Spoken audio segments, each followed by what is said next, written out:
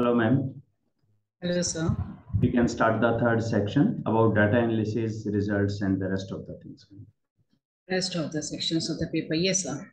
So, sir, in this case, uh, like what is required basically, uh, I'll show you that how we have worked out, but what is required is that uh, first of all, we need to show that, you know, that the data is uh, clean data.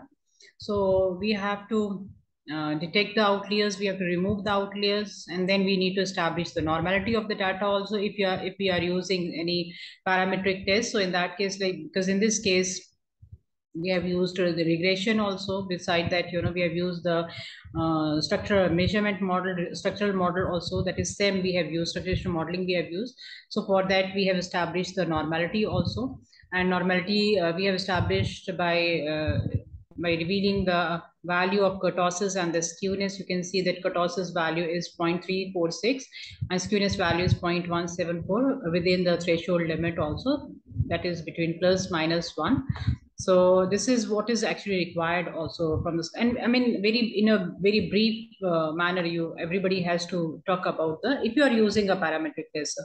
So then we we have also talked about the measurement assessment so measurement model comprised of these three constructs only, co-creation of value, consumers need for differentiation, word of mouth, and item loadings, they were above, um, I mean, above the threshold limits around 0.50, statistically significant also.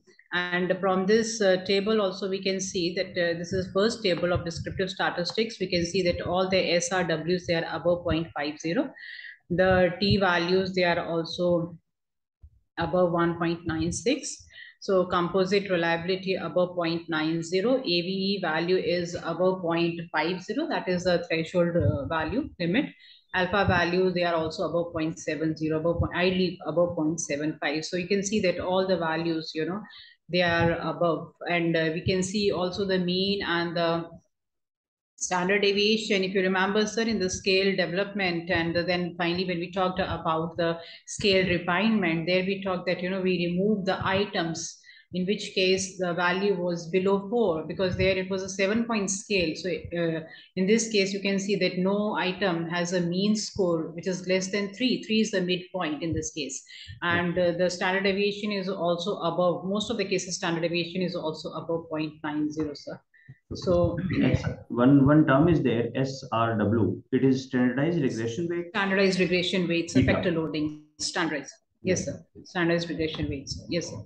So we have given the description here. SD is standard deviation, SI, and this is what a scholar has to do. So whatever abbreviations we use, so we need to provide the full form of those abbreviations at the end of the table. This is what we have done.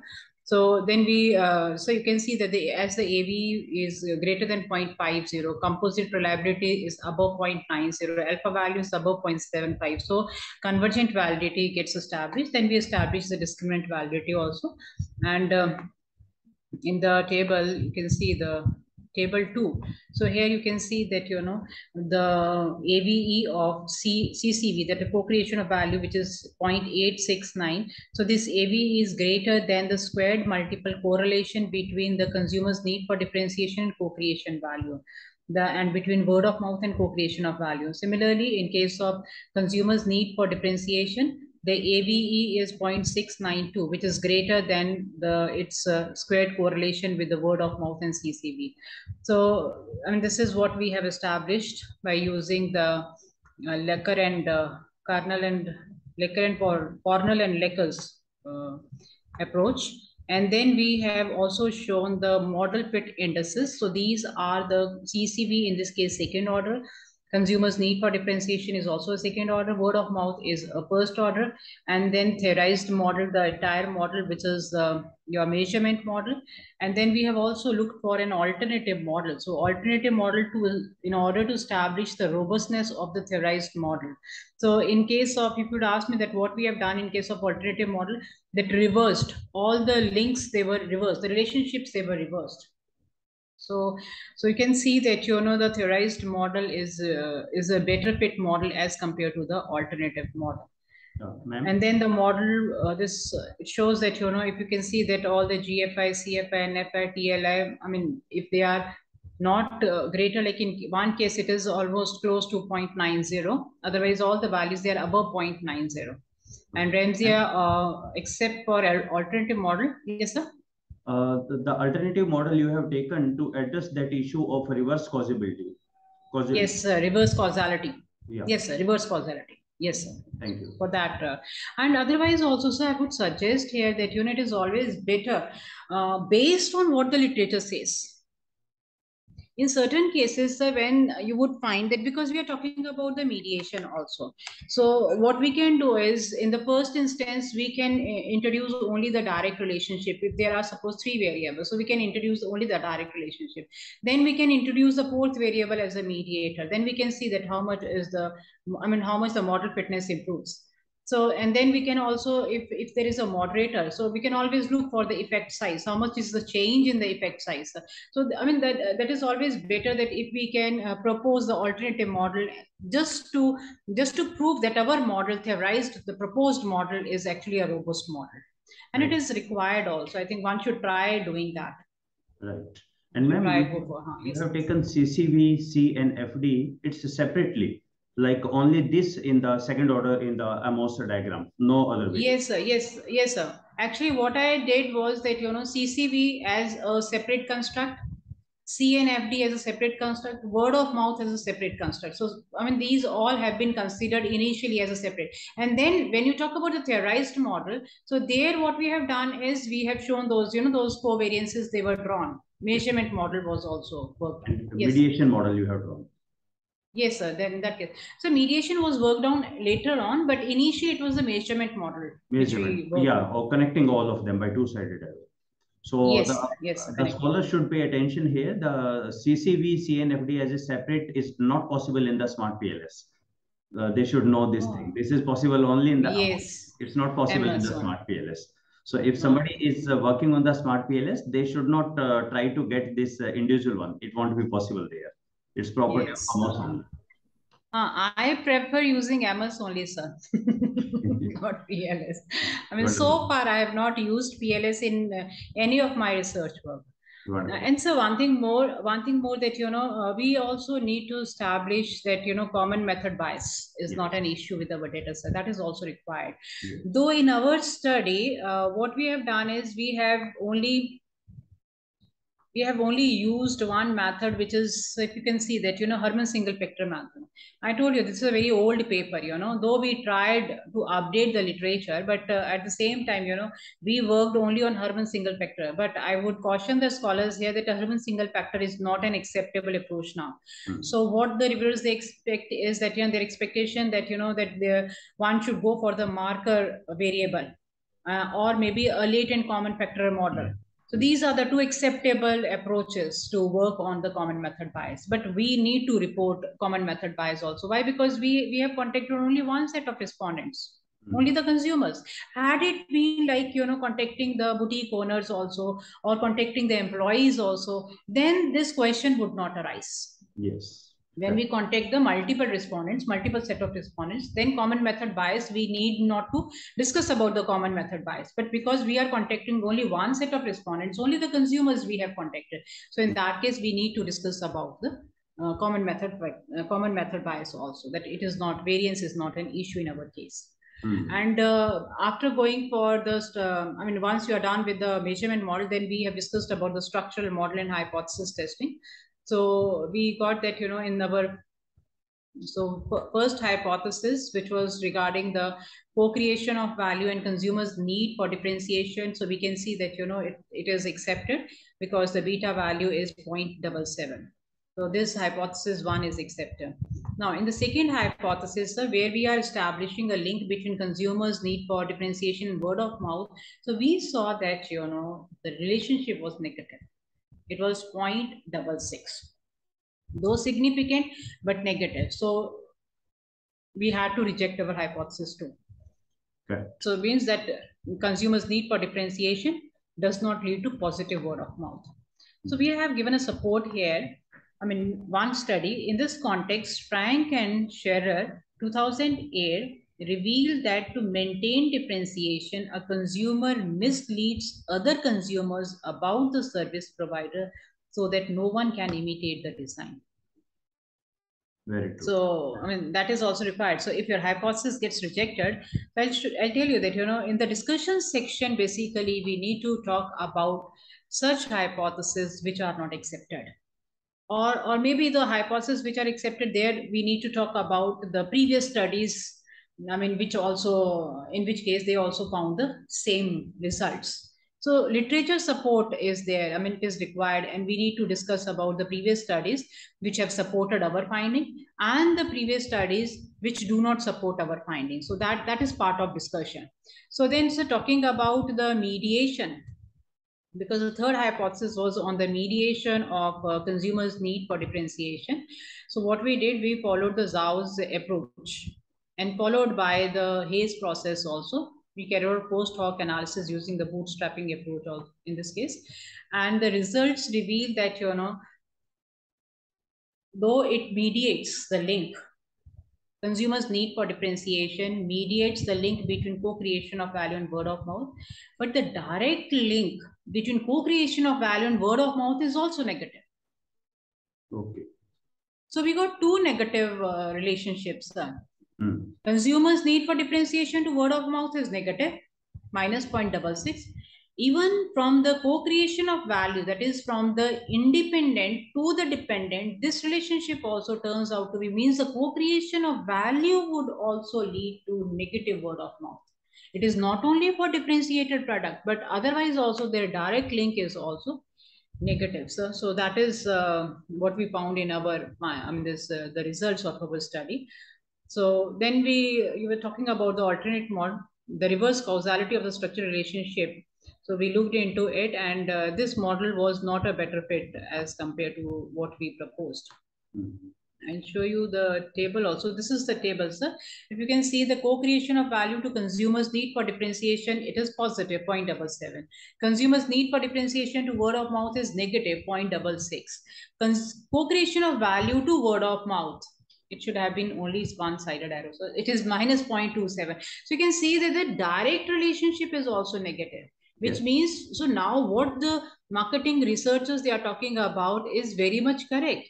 So they, they are talking about the dark side of co-creation of value, which means co-creation of value, whatever type you talk about, it leads to negative word of mouth it is not only their need for differentiated product but otherwise also because you are involving them and what uh, what we have because this is now what we are so doing now the the next project the next paper which we are writing is that is talking about the the resource integration the resource sharing where the resources which are being shared by the customers or the consumers, if those resources they are greater than the resources shared by the service provider, then in that case also the uh, consumers, they would not spread positive word of mouth. So that is that is the other part of I mean an extension to this uh, paper. So in the in the discussion section, what the scholars everybody has to write on the paper is basically in our first hypothesis from co-creation of value to consumers' need for differentiated product. That is positive, significant hypothesis times accepted. But we need to provide the citations, the references here. The references means the previous studies, the, the findings of the previous studies to which our study also confirms. So the support which our study provides to the earlier findings. So we need to we need to talk clearly about those papers, those studies, uh, in which case, you know, we are also finding the same or the similar results. But now with regard to, it was, you know, the more concern was regarding the hypothesis three. So if you would go as per uh, what is written, uh, that our key finding is interesting because of the negative relationship between consumers' need for differentiation word of mouth resulting in the rejection of the second hypothesis, that is consumer need for differentiation is significantly and positively related to word of mouth. Consumers seeking uniqueness in fashion products intentionally spread negative word. So in our case, it is negative word that has become clear. It is not no, no word they would spread, but they would spread negative words as they do not want other consumers to imitate their designs. So Parthasarathy and Forlani 2010 also found a negative and significant relationship between one of the innovation attributes and word of mouth. From this perspective, Cheema and Kaikati, so I mean, we need to find the literature for it. They also found that consumers having a strong preference for consumers' need for differentiation generally do not spread positive words for the suppliers or the service provider. They observe that the negative effect of word of mouth is greater for publicly consumed products. So the, the products which you are consuming in public. So like in our case also, you are, I mean, you are wearing your, those apparels in public so you would not spread positive words. You would rather go for negative words. A product that makes a person feel distinct has the potential to attract the attention of others. And these people, they feel uneasy if others imitate the design or possess the similar products. With regard to our third hypothesis, uh, that is the, the findings reveal that consumers' need for differentiation. It influences the negative word of mouth. So therefore, during the process of co-creation of value, providing innovative or distinct product to consumers. So we need to give references here. You know, the we need to bring here the, the earlier studies, the findings of the earlier studies with the process of co-creation of value, providing innovative or distinct products consumers may not always be beneficial because it could lead to no acquisition of new consumers. When we, so when we talk about the negative word of mouth or even no word of mouth, so we are not bringing more business to the service provider or to the firm. Correct. So there is no acquisition of the new consumers. Otherwise, a word of mouth. What is uh, what we started? I mean, since ages, what we are starting is that you know satisfaction leads to word of mouth. Word of mouth means you are attracting other consumers, and which is a cost free. Yeah. I mean, the company has to pay nothing. Yes, hmm. sir. So, I mean, that is cost-free advertising or the promotion of the product, but it is not happening nowadays when we talk about the co-created products, sir. because it could lead to no acquisition of new consumers or to owing to existing consumers not wanting others to imitate their styles or product attributes. So the bigger question that remains unaddressed is how to convert negative word of mouth into positive or co-created products, which can bring more business to suppliers and ensure sustainability of their business. So this, this we are keeping this question in mind, sir, when we are the, the, the, new paper which I talked about, the new study which we are looking into now.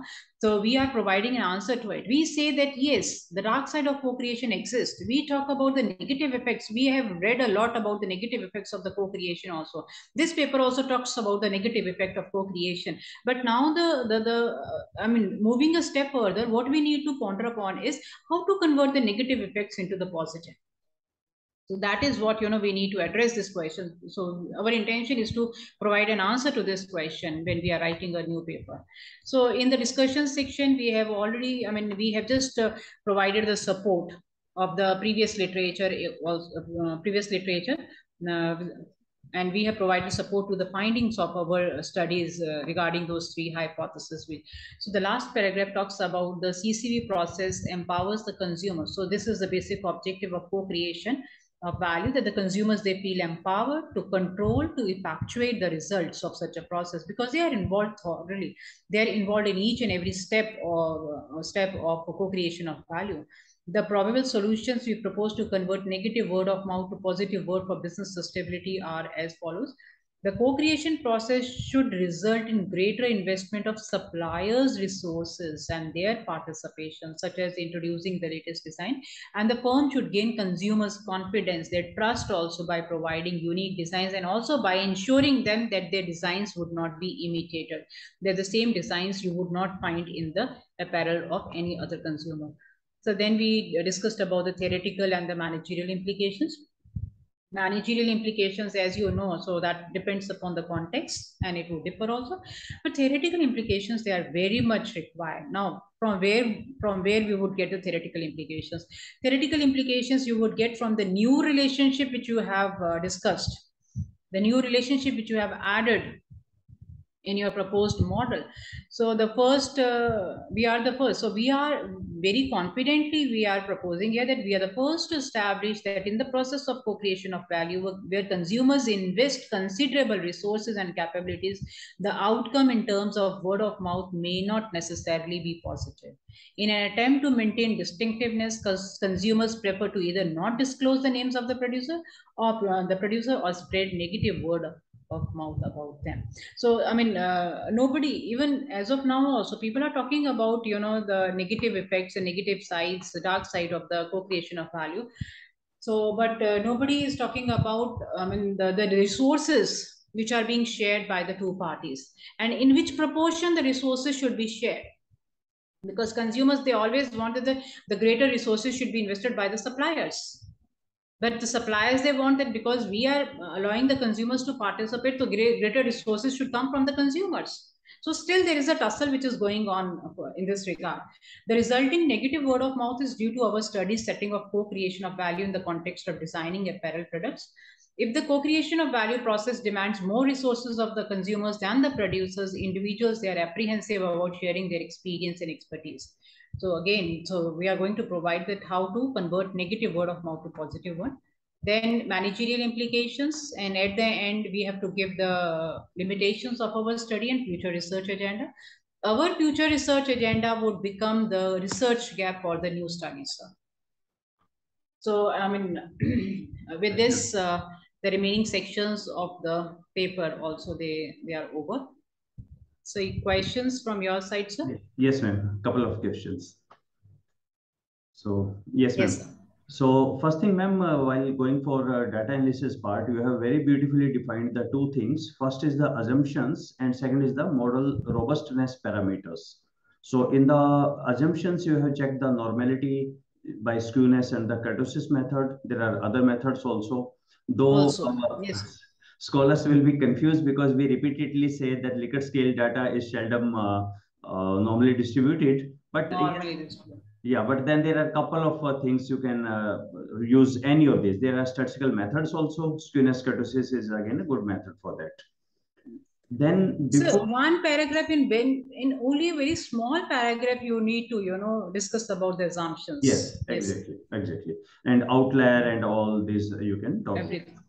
Then uh, second thing is, ma'am, uh, you have explained the structural uh, robustness parameter. You discussed about the reverse causality about the alternative model. You have also taken the sort of, uh, mm, like you said, now you can take a marker variable, which can be a priori marker variable. It's always good yes. for common method biasness. Yes, yes sir. I think the scholars can also go at the time of data collection, collect the data in two waves, maybe dependent variable some other time. Yes, sir. Yes, sir. Yes, sir. I agree. So gap of after gap of three months. So this three is months. how you can actually prevent.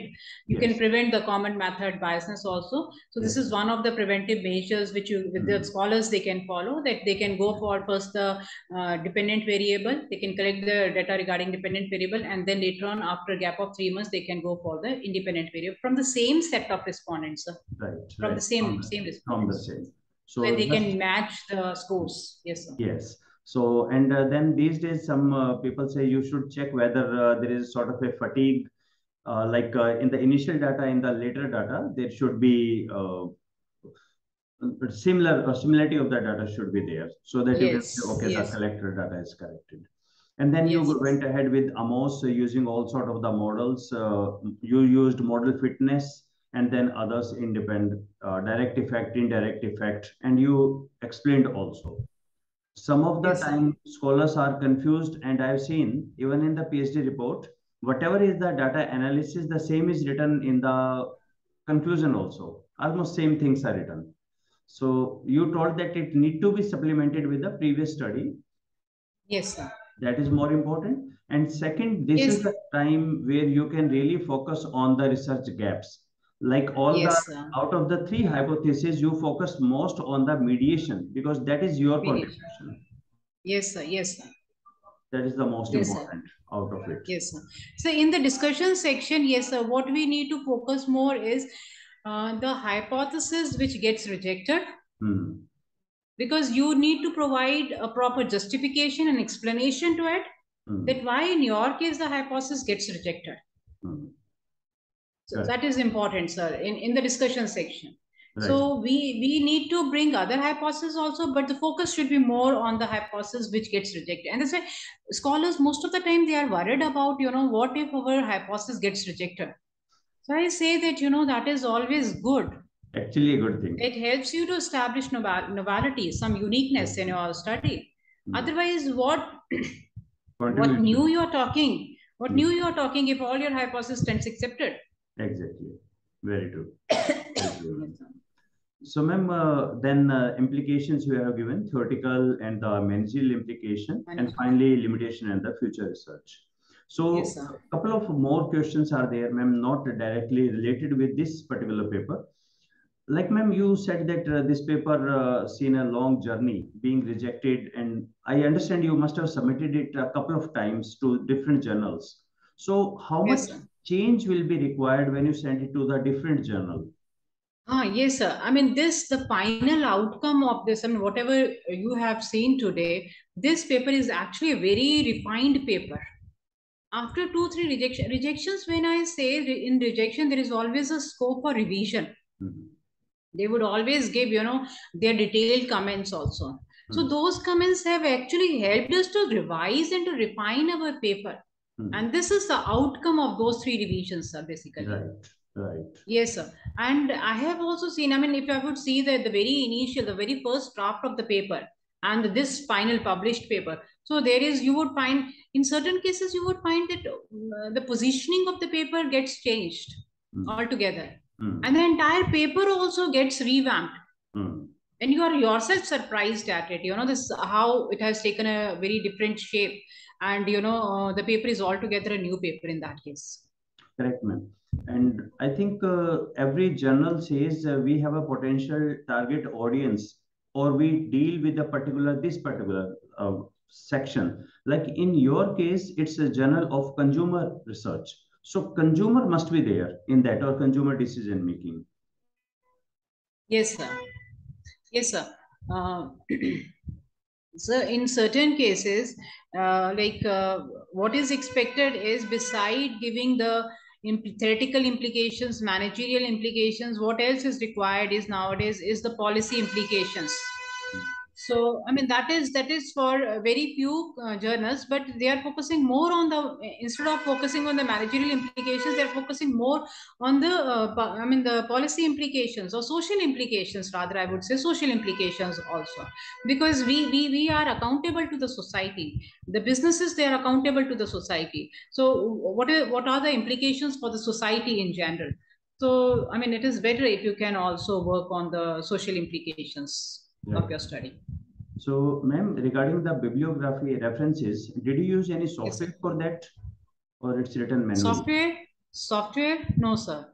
No. So actually uh, in every journal's guideline author's guideline they would clearly mention the format the references format. They would Mhm. always tell you. So most of the cases you know it is uh, the apa style which they prefer and uh, in this case also i think we have given the apa style but i could see that you know they use uh, different software to convert uh, that into their own you know whatever is their requirement so they must have used the software sir because i could see that it is it is not an apa style here which is being followed Some some friends Yes, sir. recommend Mendeley, but there are certain issues in Mendeley also. Some things yes sir there there there there are great issues and those issues are also i mean at a time you know you get confused also and you are frustrated also by using Mendeley Mhm. because you are you- you're not able to make the changes like suppose within the brackets it is at all dot comma Hmm. but when it is outside the bracket it is at all Hmm.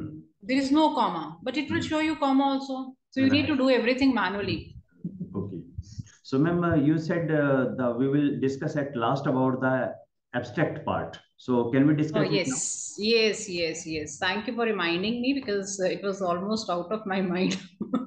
so, in the abstract, now, you know, now we are ready. Once a scholar is ready, you know, after writing the paper, now a scholar is ready to write the to go for an abstract. Abstract should be written at the end only. And now uh, we can just refresh that what we have discussed. So, the extant literature, we have talked about the impact of value co creation on consumers' need for differentiated products. And we have shown that in the abstract we have written that you know it is sparse it is very limited. So the present study examines the role of consumers need for differentiation in relating value co-creation with the consumers word of mouth to foster the competitive advantage. We investigate the effects of innovation differentiation and market differentiation. These are the two dimensions of consumers need for differentiation sir uh, in case of micro businesses the abilities to co-create value and generate positive word of mouth which ultimately helps them to sustain their revenues we collect data from a sample of 196 female consumers who participated in the co-creation process. used in the micro businesses to design trendy apparel. We use structural modeling to test the hypothesis, having a strong desire for differentiation in their dresses. So these consumers, they invest their resources, their skills, capabilities, their expertise also in designing their own apparel. The results show that value co-creation not only leads to consumers' need for differentiated product, also results in negative word of mouth. More particularly, value co-creation leads to differentiated offerings, but consumers desirous of possessing unique products do not spread positive words about the professional designer.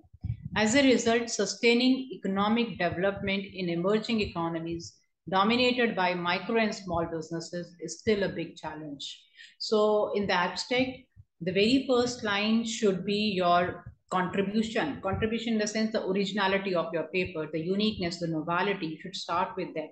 Then second line you should talk about your objective of your study. In the third line you can talk about the methodology in one single line you know, to whom you have contacted. Then which technique you have used to analyze then your findings of your study and maybe one implication if you can give at the end so this is how uh, Wonderful. Our million abstract is. Wonderful. And ma'am, how to choose the keywords? Ah, yes, the keywords basically the words which are commonly used throughout the paper. Like in our case, we have seen that value co-creation, we have used the term quite often. Consumers' need for differentiation, we have used. These are main constructs. And sometimes, you know, like uh, micro businesses, the context also, because we have talked about the micro uh, businesses quite often, word of mouth. So the first three are the construct, the main constructs, and the fourth one is our context. Okay. So normally, yes, sir, this is how we go about. Okay. And ma'am, finally coming to the title of the paper, how the title of yes, the sir. paper is chosen? Like, ah, yes, sir. I mean, again, not that easy. So hmm. in, it, this is very simple. Assessing co-creation based competitive. It has to be very catchy. It has to be very attractive also. In certain journals, I've seen that they prefer uh, something like uh, in, a, in a question form. Title should be in a question form. So right. that, you know, uh, so that that interest of the reader, it remains intact right. while going through the paper because you are looking for an answer to that question right. the answer would come at the end only for that you have to read the entire paper. Yeah. so i mean you have to be very selective while um, actually and and again you know two three exercises are required.